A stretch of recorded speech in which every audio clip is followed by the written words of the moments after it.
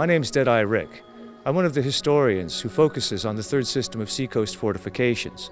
What I have behind me is one of my favorite of these fortresses. Allow me to introduce to you my favorite place on earth, Fort Rodman, right here in your community. Hello, my name is Paul Zabornak. I'm a member of the uh, Fort Taber Fort, Fort Rodman Military Museum here in New Bedford, Mass.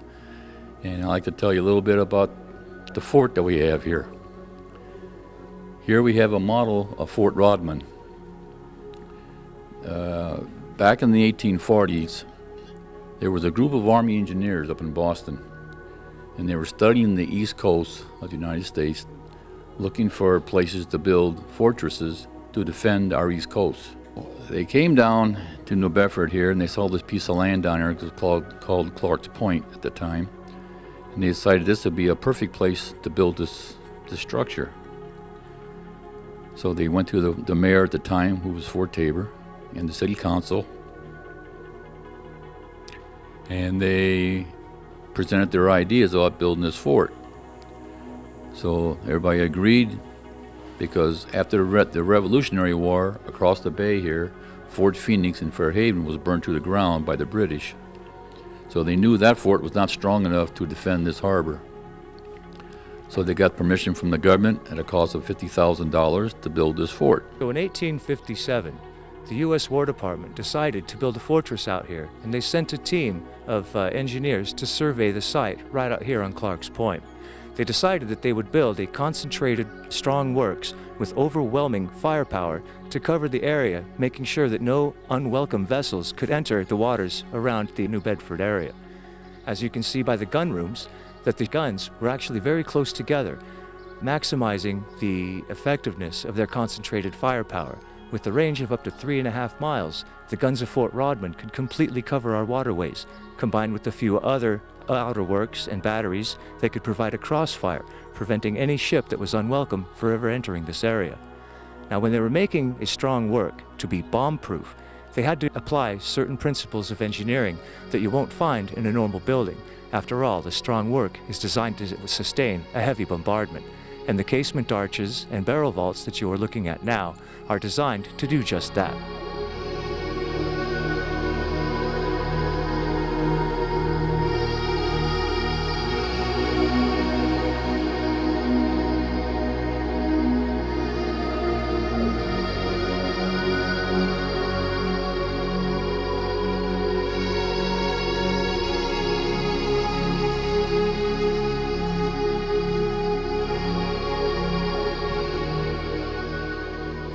1861 comes around, the Civil War breaks out. The fellow who is the architect and the first engineer of this building, he hightails it to Richmond, Virginia, to take control of the Confederate forces. His name is Robert E. Lee. Okay. He, uh, he took control of the Confederate forces. The fort at that time was about half completed.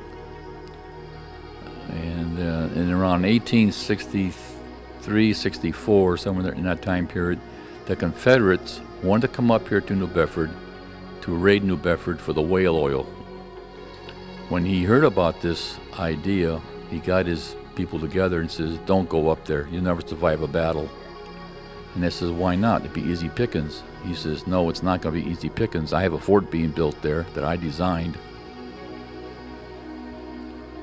And he says, You'll never survive a battle. It's going to have 70, between 70, 75 Rodman and Parrott rifles up there. He says, So you'll never survive a battle. They'll cut you to pieces. So, on his say so, they never invaded the uh, New England area. So, the guns that were mounted in this fortress were very, very large. Most of them were a Model 1861 Rodman Columbiad. This particular gun weighed about 15,000 pounds and fired a 125 pound cannonball up to three and a half miles, and they mounted them one right after the other right here in the breezeway. Now, the firepower is impressive enough, but when the engineers were deciding on the best way to build this fortress, they had to figure out a way to clear out the smoke and how to cool off the troops. So they configured their arches in such a way to not only provide strength for the fortress, but to create a breeze, so that as they're firing their guns and the guns produce heat that goes up into the barrel, it creates a circulation of air. The circulation up there in the barrel then causes a breeze to whip up down here in the breezeway. The recesses below the casement arches are what help the convection occurring in the barrel from being disrupted by the lateral flow of air down the breezeway. In this way, they can clear the smoke and cool the troops. And the more you fire, the more heat they produce, the greater the wind. Also, what it did was above the cannons in their encasements, up in the ceiling, there's a, a slot. It's about it's about four to five inches wide, about three feet long. When they fired these cannons, the smoke had to go somewhere because in those days they didn't have smokeless powder. So the smoke had to go somewhere. Okay, the air going through the fort is funneled to every one of these encasements. So when they fired a cannon, the air would take the smoke, funnel it up through this hole in the ceiling, and out. Now you ask, where did it, where did the smoke go? Robert Lee had the idea that if you built stairwells, there's two of them here, and you made chimneys out of them, and you you could direct the smoke to those chimneys and out.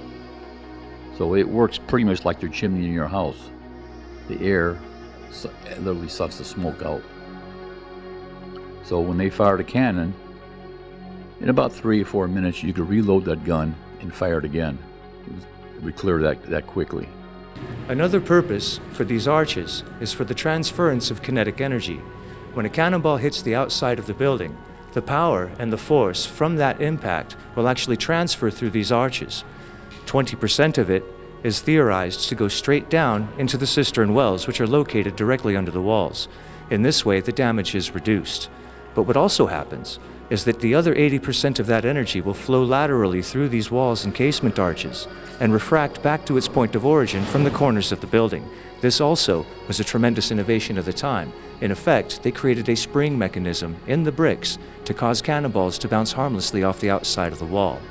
Back when the building was brand new, this was a very strong work, but as you can see by the damage in my casement arches, that as water has leaked through the walls, it has settled in and caused a good amount of deposits and calcitration. When this water freezes during the winter time, it expands and causes the bricks to break, and the entire building is beginning to crumble as a result. The way to fix this is quite simple. Simply remove all the plants from the rooftop, repair the rooftop, and relay the dirt and the sod like it's supposed to be, and we will minimize, if not stop, this effect from continuing. This is a very, very important program that really should be initiated right away. On top of the fort, we have a couple structures over here. These were supply huts. This is where they kept the supplies for the fort, their uniforms, their food, uh, medical supplies, whatever they needed to sustain the fort. They didn't rely too much on the city to supply them anything. The other building over here, which you see, is where they kept the powder bags. The powder bags were kept up there because in those days there was no such thing as no smoking, so guys would smoke their cigarettes, pipes, uh, cigars, whatever. They didn't want them flicking their ashes in the wrong spot and have a hundred bags of gunpowder go up in flames. So they put it up there. They had a hand crank elevator system that lower the bags down to each gun placement. Okay. They put them on a wagon and they would carry them over to the cannon. The cannonballs were stored at the cannon and they had a special apparatus to pick the balls up to load them into the cannon. The balls are heavy. We have several over here on the, the corner here. The big black one, it takes three of us to pick it up. So you can imagine trying to pick that thing up by yourself to put it inside of a cannon. You're not going to do it. So they had a special tool to pick them up, load the cannon. For a basic anatomy of a standard gun room in one of the third system fortresses goes as such. First, they make their barrel vault. The barrel vault is designed for structural and load bearing purposes, but they also discovered that it serves perfect for the transference of kinetic energy and it also helps control airflow. Remember, they're trying to create circulation up in that barrel So the vault has to be symmetrical and perfect so that the airflow and acoustics are all completely controlled. In support of the barrel vault, they put in casement arches. The casement arches open up the breezeway where all of the gun rooms are. In this way, the breezeway isn't all confined, containing the heat and the smoke and the sound. It's all got to be open so that the air can flow and the sound can also flow and dissipate. Now, these were all standard designs for fortresses all over the place. Uh, in fact, these arches, some of them known as Roman arches, date back all the way into Roman times. This is an engineering design that uh, really predates the American civilization altogether. However, the distinctly American aspect of this gunroom happens to be the window. This window is called the Totten embrasure, and it's an invention that came to us from the third graduate ever from West Point Academy, uh, Joseph Gilbert Totten. His field of expertise was theoretical engineering.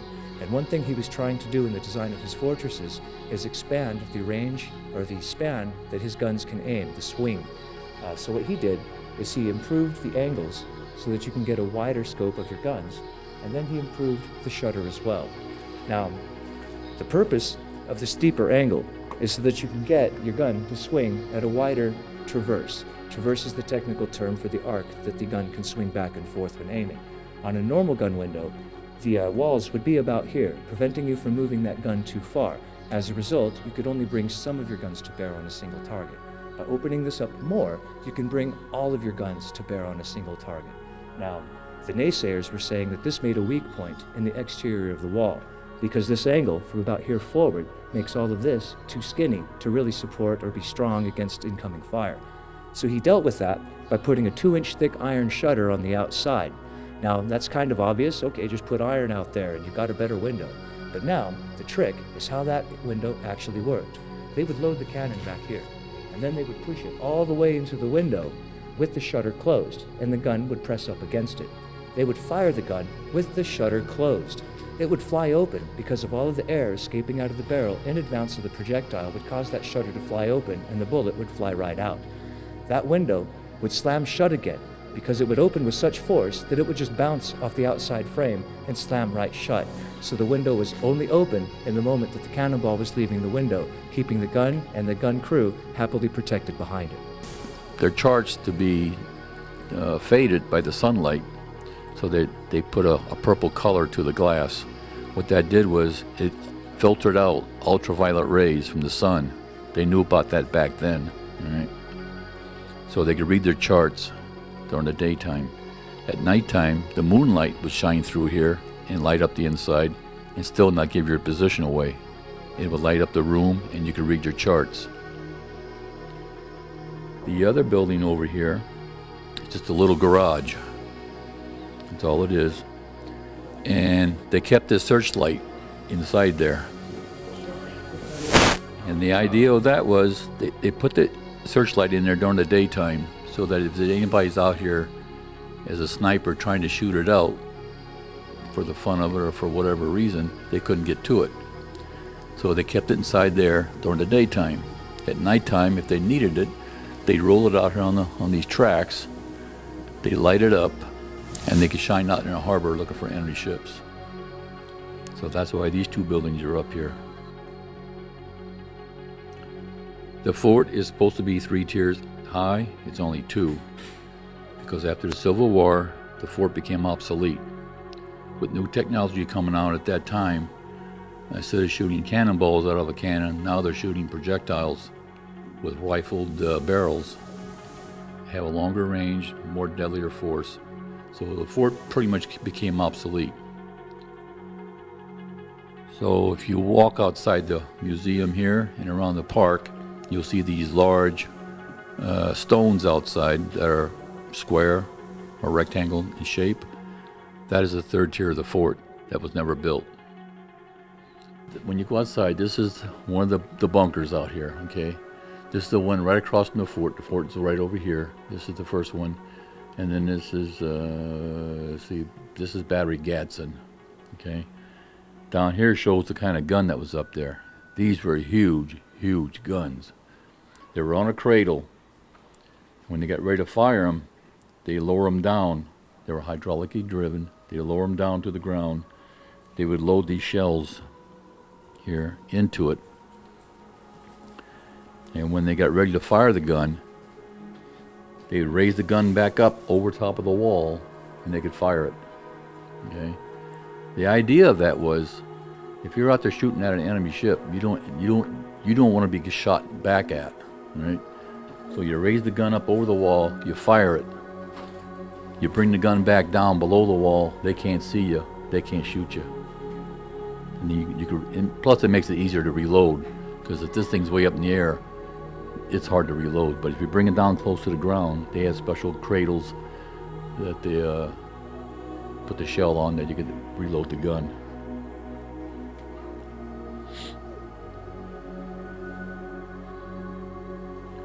So in the in the military park here, we have, I believe there's five of these. There's two here, and I think there's three on the other side of the park. And then there's a, a big one over there called Battery Milliken. That had the biggest gun. And when they fired that, they had notified the city in advance that they're going to fire this thing because it was so loud that halfway through the city, people had to open their windows. They had to take stuff off the shelves because when they fired this thing, it would break windows the concussion of it was so so loud.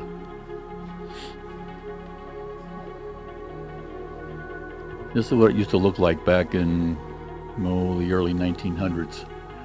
You walk out here, they had a building out here, and the ships would come in with their cannonballs or whatever they're going to have for the fort. The, the colors and the design started with the British flag, the red duster, the British flag. And as time went on, it changed a little bit. You see the next flag, they added some writing on the Taunton flag. That was actually flown in Taunton, Massachusetts. And then uh, the Grand Union flag, then they decided, okay, we're going to keep the same colors, but let's put stripes on it, one for each colony. And they kept the Union Jack, the British Union Jack, because we were still under British rule at the time.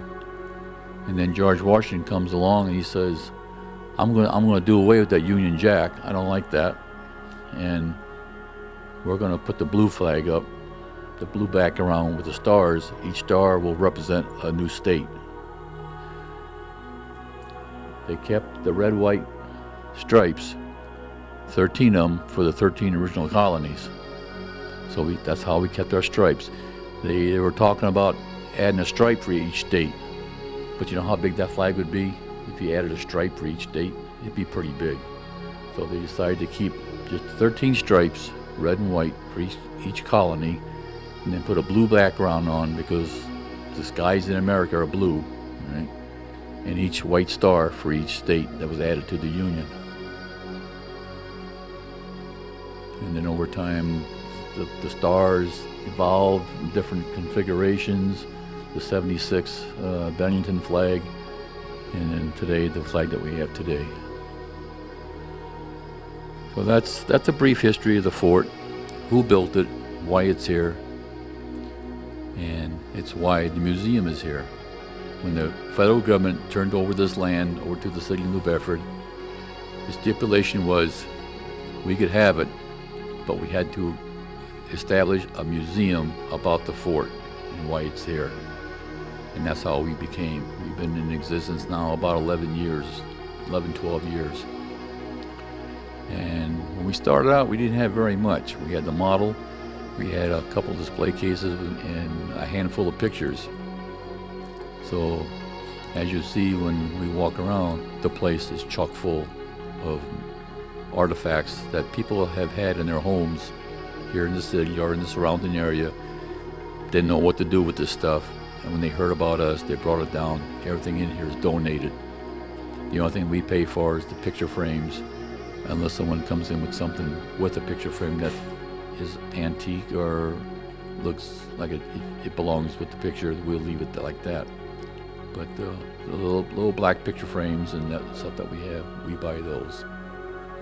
All that damage that we were looking at down in the gun rooms is caused by these plants. As these fortresses are getting older and crumbly, the uh, embrasure is actually damaging the fortress more. So in most places they've been removed. One of the unique things about Fort Rodman is the fact that our second floor Rodman or Totten embrasures are all still in place.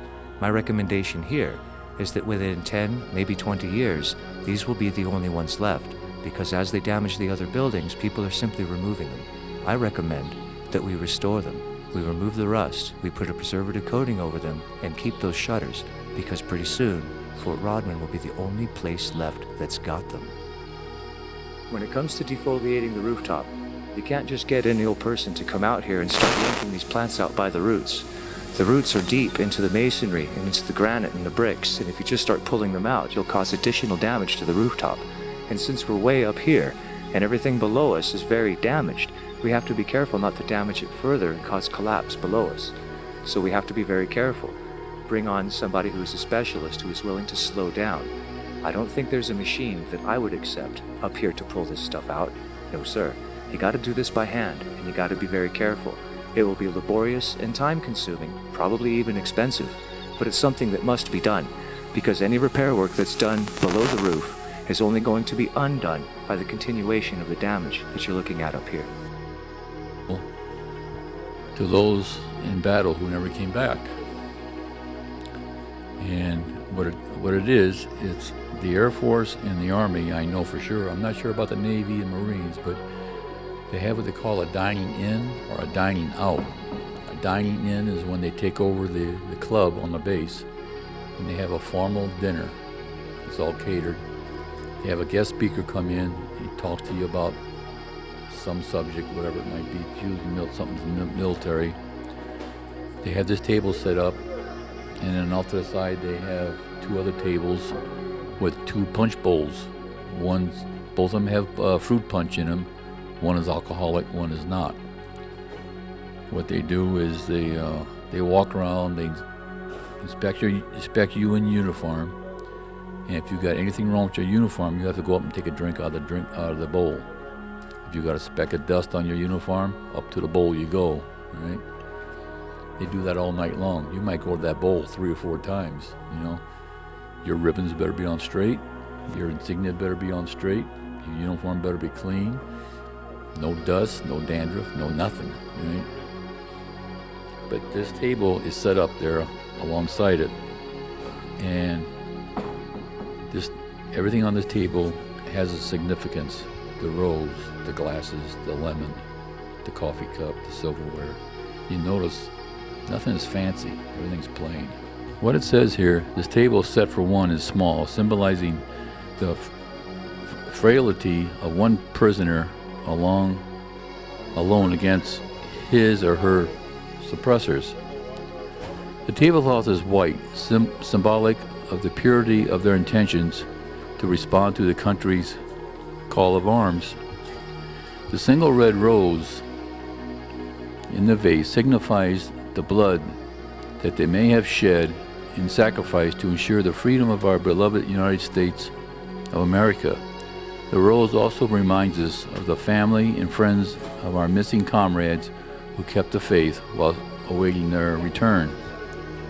The yellow ribbon on the vase represents the yellow ribbons worn on the lapels of thousands who demand, with unyielding determination, a proper accounting of our comrades who, who are not among us tonight. A slice of lemon on the, on the plate reminds us of their bitter fate. The salt sprinkled on the plate reminds us of the countless fallen tears of families as they walk, wait.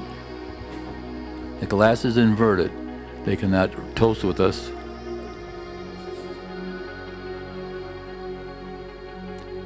Um, the chair is empty. They are not here. The candle is reminiscent of the light of hope which lives in our hearts to eliminate their way home, away from the captors, to the open arms of the grateful nation. Most of it, I can't take you inside of it all, because even when I was in there inspecting it, it was making me nervous. And if it's making me nervous, you should not go anywhere near it. Please, I don't want you to be hurt. I don't want my fortress to accidentally fall down.